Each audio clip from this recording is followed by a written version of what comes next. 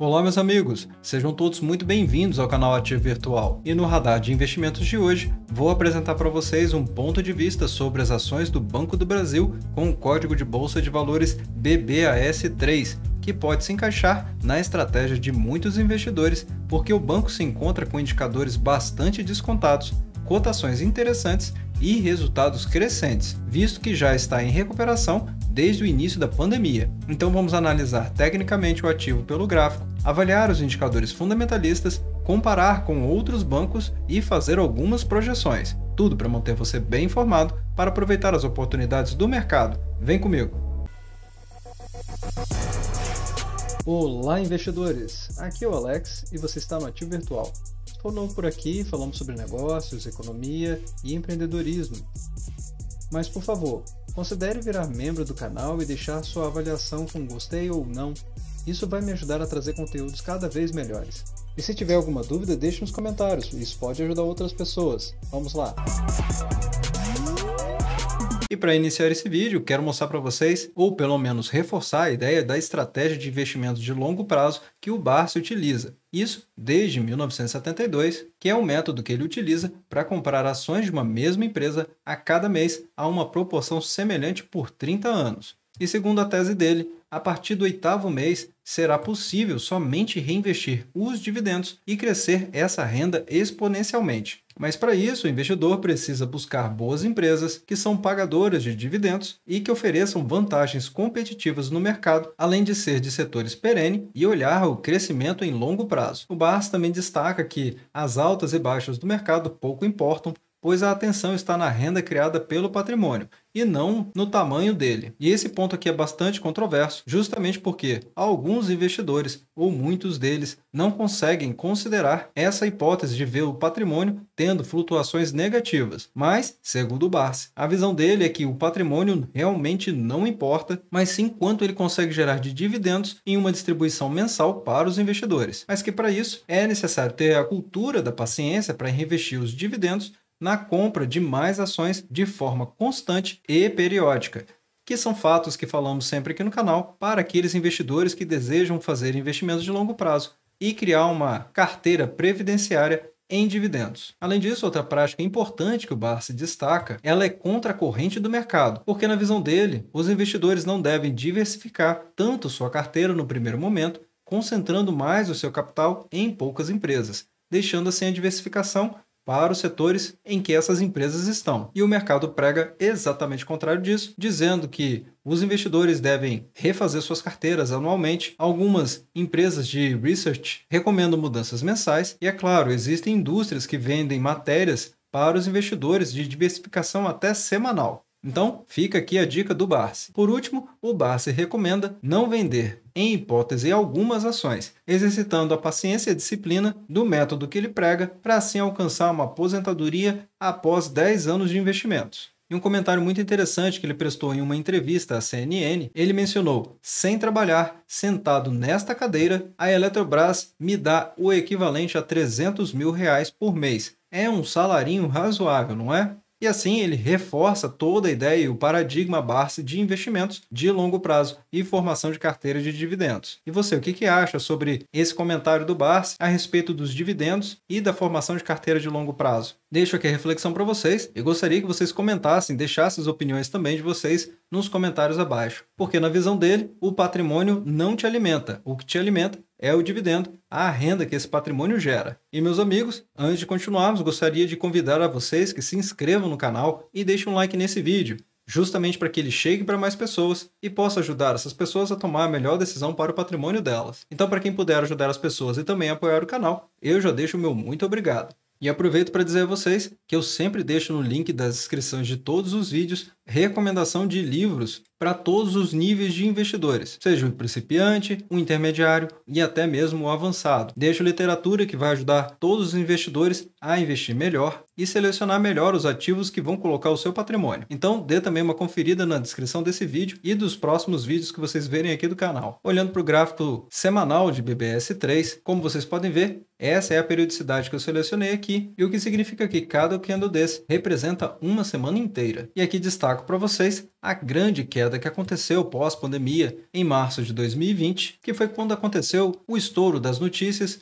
e o início do lockdown em muitos países. E desde lá, Banco do Brasil vem uma tendência de baixa, como vocês podem ver nessa LTB que eu acabei de traçar para vocês. Porém, Banco do Brasil passou por um período de acumulação e desde então houve uma grande alta a partir do mês de junho de 2020. Só que os preços não conseguiram sair muito desse patamar e continuaram dentro da tendência de baixa de médio prazo. Em contrapartida, o mercado se mostra muito forte ao longo desse período, justamente porque ele sempre se apoia na faixa entre os R$ 26,30 até os R$ 27,50. E esse candle representa a última semana, entre os dias 15 e 19 de novembro, e que mostram justamente que a empresa está num momento importante nas suas cotações. E eu vou dar um zoom nesse período para a gente poder discutir um pouco mais em detalhes, justamente porque as cotações atuais estão em R$ 29,05. E trazendo aqui a a parte que eu selecionei para vocês é justamente de junho de 2011 até os momentos atuais, com o fechamento da semana anterior, do dia 19 do 11. E essa linha que vocês estão vendo, justamente na faixa desse preço em que ela está, é uma linha de importante região de suporte de preços, justamente porque o ativo foi negociado nessa faixa de preços por muitos dias consecutivos e conseguiu segurar suas cotações e até mesmo passar dos 31 reais. Existe uma desaceleração da queda desses preços que fica muito nítida porque a cotação da sexta sexta-feira, ela não perdeu o fundo das cotações de quinta-feira da semana passada. Então abre-se espaço para imaginarmos que existe a chance desse ativo começar a subir as suas cotações, podendo até mesmo superar os 31 reais. E caso isso aconteça, um primeiro objetivo interessante para as cotações seria na faixa dos R$ 32,80. Mas existem especialistas que apontam para um preço-alvo de 35 reais. Mas vale lembrar que isso é renda variável e não existem garantias de valorização do ativo. Então, novamente falo para vocês que esse vídeo não é uma recomendação de compra e nem de venda, porém trago para vocês potenciais oportunidades do mercado para fazer com que vocês tenham ferramenta de tomada de decisão e assim vocês possam avaliar se Banco do Brasil faz sentido para a estratégia de vocês. Olhando agora para a análise fundamentalista do ativo, atualmente ele está sendo negociado a um múltiplo de 0,6 vezes do PVP, o que indica que o mercado esqueceu, observem que eu utilizei essa palavra aqui, 52,5 bilhões de reais de valor patrimonial. E eu vou mostrar mais para vocês sobre isso, mas vai ficar muito claro quanto que a empresa está descontada no mercado que é exatamente esses 52,5 bilhões de reais. Então, você não entendeu errado. Se você estiver pensando em comprar Banco do Brasil, significa que você está comprando ele pela bagatela de 52,5 bilhões de reais a menos do que ele vale realmente o seu patrimônio.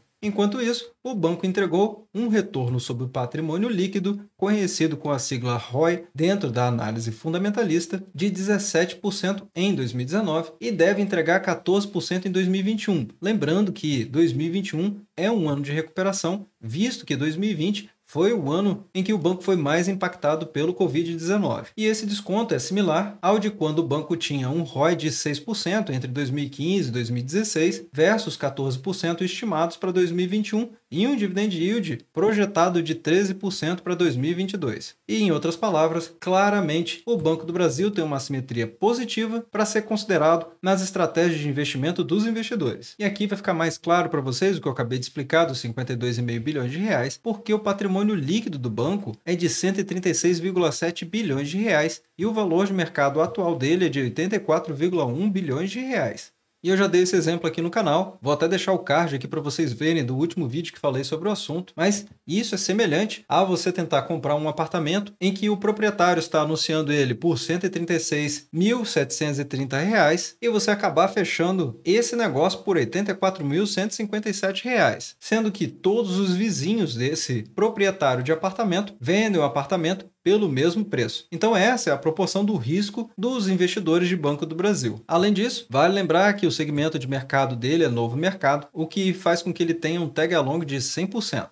E não para menos, o Banco do Brasil é uma das queridinhas do Barsi, que é um dos maiores investidores pessoa física da Bolsa Brasileira, se não o maior, com um patrimônio de mais de 2 bilhões de reais investidos até o ano de 2019. A empresa tem um free float de 49,58%, o que é um free float excelente, permitindo total liquidez para o investidor, sendo que para os meus critérios, a partir de 25% já é o suficiente para que a empresa seja bastante líquida no mercado. Aproveito para mostrar para vocês o PVP histórico da companhia, que possui uma média de 1,05 no seu múltiplo, sendo que o maior foi em 2019, com 1,53, e o menor de 0,6 em 2015, sendo que o atual é de pífios 0,62. E isso quer dizer que o banco está 38% mais barato do que seu valor patrimonial e 41,55% mais barato em relação à sua própria média. Com esses indicadores que mostrei para vocês até aqui, já fica muito claro que o banco está extremamente barato no mercado,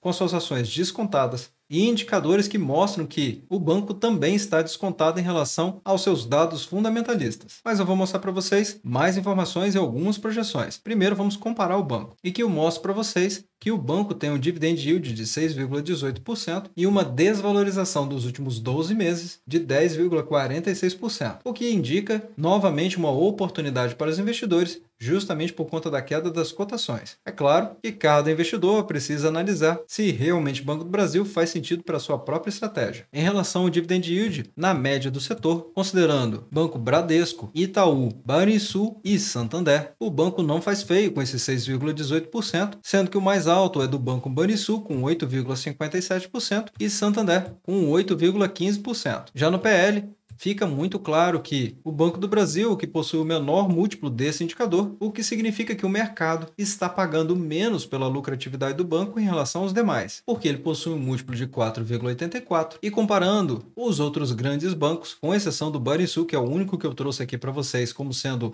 um banco emergente, é o que está com um múltiplo mais interessante. Justamente como vocês podem ver, o Banrisul com 5,18 e na sequência Itaú com 7,47. E para ficar ainda mais claro para vocês, significa que as cotações estão mais elevadas em relação à lucratividade da empresa.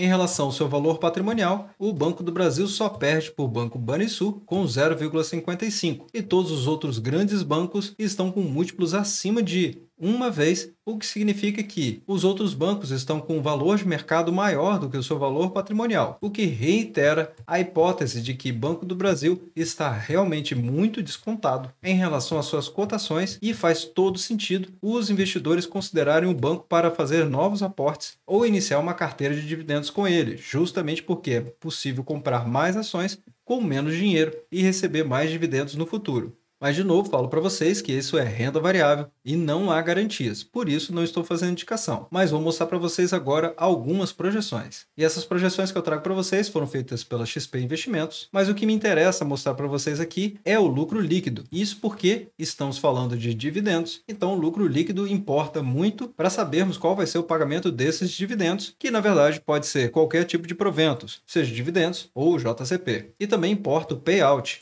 porque o payout é quanto desse lucro líquido que o banco vai fazer de pagamento para os acionistas, em forma de proventos dividendos ou JCP. E a estimativa para o ano de 2021 é de 18,8 bilhões de reais, para 2022, 20,5 bilhões de reais, 2023 já cresce novamente para 22,5 bilhões de reais e 2024 a estimativa é de 23,8 bilhões de reais. Notem que existe uma expectativa que o payout do banco se eleve de 38,1% para 60% nos próximos anos, ou seja, 2022, 2023 e 2024. E se as estimativas do XP Investimentos estiver correta, vamos ter um pagamento de dividendos para 2022 de R$ 4,29 e aqueles investidores que enxergarem esse momento do Banco do Brasil como sendo uma oportunidade, vão conseguir colher então 14,78% de dividendos no ano de 2022 e para 2023, R$ 4,73. E vou explicar um pouco mais para vocês como que esse cálculo é feito, justamente para que vocês entendam o número e não apenas vejam ele aqui na tela. O que eu fiz foi pegar essa projeção de lucros, dividir pela quantidade de ações totais do Banco do Brasil e depois multiplicar pelo payout da companhia. E isso vai fazer com que a gente chegue nos R$ 4,73 em 2023 e os R$ 4,29 em 2022. Então, continuando o raciocínio, para 2023 2023, o dividendo vai ser de 16,28% e 2024, R$ 4,99 por ação BBS3 o que vai levar a um dividendo incrível de 17,16%. Então imagine se o banco realmente conseguir entregar essa lucratividade, e o país consiga recuperar a sua economia para fazer com que a inflação caia, bem como a taxa de juros. Então, esse dividendo vai ser realmente excepcional para o banco e com certeza os investidores que aproveitarem o momento agora vão ter um dividend yield ou um coste extremamente interessante. Só lembrando que isso são hipóteses e precisa que a economia do país realmente suporte esse crescimento da lucratividade do banco. E é claro, as intervenções do governo não atrapalhem o banco e a sua boa gestão de fazer com que ele continue crescendo e gerando mais lucros. Bem, meus amigos, agora eu gostaria de saber a opinião de vocês a respeito do Banco do Brasil, se vocês enxergam essa oportunidade e, se possível, compartilhe o vídeo para que mais pessoas consigam ver essa análise e também consigam refletir sobre ela. Deixe as opiniões de vocês nos comentários abaixo, porque com certeza pode ajudar outras pessoas que estão pensando em investir também. Bem, meus amigos, espero que esse vídeo tenha ajudado vocês. E caso tenha ajudado, peço que vocês deixem um, um gostei se inscreva no canal, deixe suas perguntas nos comentários e compartilhe esse vídeo para poder ajudar outras pessoas que tentam investir corretamente também. Obrigado pela valiosa atenção de vocês e até breve.